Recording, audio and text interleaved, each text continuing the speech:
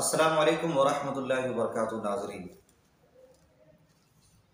अन्नाहुल वाज़े का चौथा दर्स शुरू होने जा रहा है। आज का चौथा दर्स अज्जाए जुमला के तहत जो तमरीनात हैं, उन तमरीनात पर मुश्तमिल हैं। सारी तमरीनात आज नहीं बताई जाएँगी, बल्कि कुछ ही तमरीनात का हल बताया जाएगा। तमरीनात, तमरीन नंबर एक इकरा अलजुमल आतिया वबैन अलअस्मा अल्लती तदुल्लु अला अशखास याद रहे कि अरबी इबारत में जो कुछ कहा जा रहा है, उसे भी समझने की ज़रूरत है, क्योंकि ये किताब अरबी कवायद से रिलेटेड है और अरबी कवायद हम पढ़ रहे हैं, लेकिन हाल ये है कि अरबी जुमलों का तर्जमा हमें समझ नहीं आता। तो ये भी एक काबिल अफसोसनाक बात है। तो चलें, पहले पहले जुमले के अंदर क्या कहा जा रहा है, वो हम सही से समझने की कोशिश करेंगे। इकरा, ये फ़ेल अमर है। इकरा, पढ़िए। अलजुमल अल आतिया आने वाले जुमलों को पढ़िए। वबैन अलअस्मा अलअस्मा ये मफूल भी बन जा रहा है बैन फ़ेल अमर का, इसीलिए मनसूब है।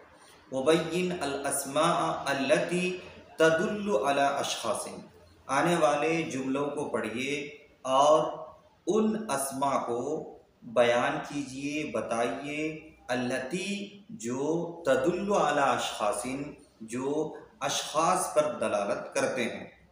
वल्लती तदुल्लु अला यहाँ भी अस्मा मुक़द्दर है। यानी वो बैन अलअस्मा अल्लती तदुल्लु अला और उन अस्मा को बताइए जो हैवान पर दलालत करते हैं। वल्लती तदुल्लु, यहाँ भी वल्लती से पहले अलअस्मा मुक़द्दर है। यानी वबैन अलअस्मा अल्लती तदुल्लु अला नबातिन, और उन अस्मा को बयान कीजिए जो नबातात पर दलालत करते हैं। वल्लती तदुल्लु अला जमादिन और उन अस्मा की निशानदही कीजिए जो जमादात पर दलालत करते हैं। अब हम जुमलों को पढ़ते हैं। नंबर एक, फरीदुन यजरी फिशार फरीद सड़क पर दौड़ रहा है। इसमें अशखास पर दलालत करने वाला इसम क्या है?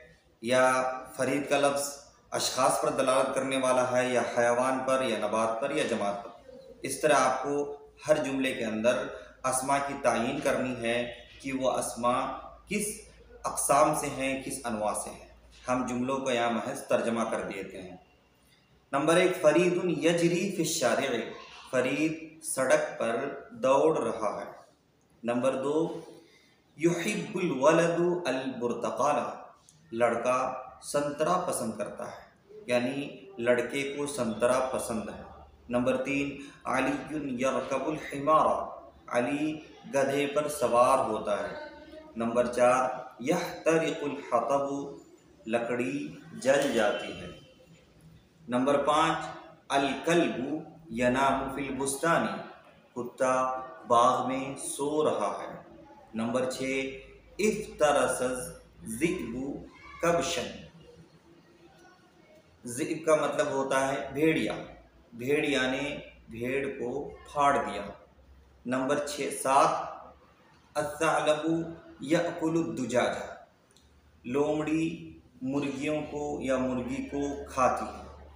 नंबर आठ, अलबुस्तानी यू यजमाउल अजहारा। गार्डनर बागबान फूलों को जमा करता है।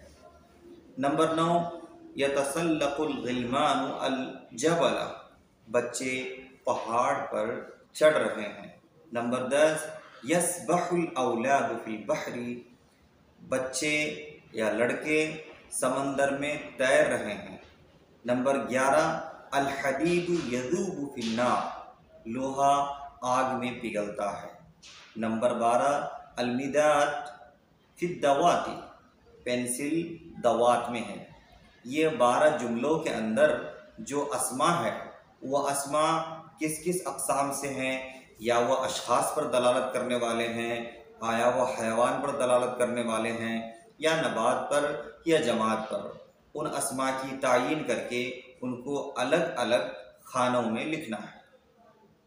तबरी नंबर दो, इकरा अलजुमल आतिया आने वाले जुमलों को पढ़िए, वो मयिज़िल असमा वल आने वाले जुमलों को पढ़िए, असमा अफ़ाल और हरूफ को अलग अलग करके बताइए। नंबर एक, यफ्तह मोहम्मद अलबाबा, मोहम्मद दरवाज़ा खोलता है। नंबर दो, यशतरी ताजिर अलकुतुल, ताजिर बिजनेसमैन कपास खरीदता है।